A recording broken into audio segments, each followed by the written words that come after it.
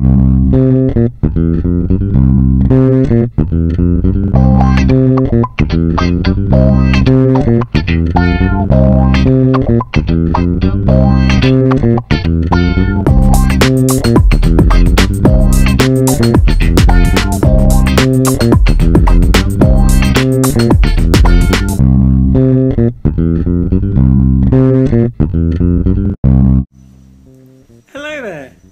and welcome to Fact of the Day.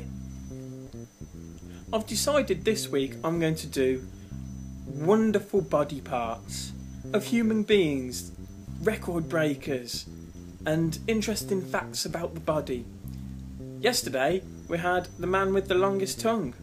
Today we have the man who had the world's largest beard. His name was Hans Langseth, and he was from Norway and his beard was an impressive 18 feet and 6 inches long. That's amazing! And he could wrap up warm at night with it and everything. Anyway, I'll see you again tomorrow with another wonderful body fact. Until then, goodbye.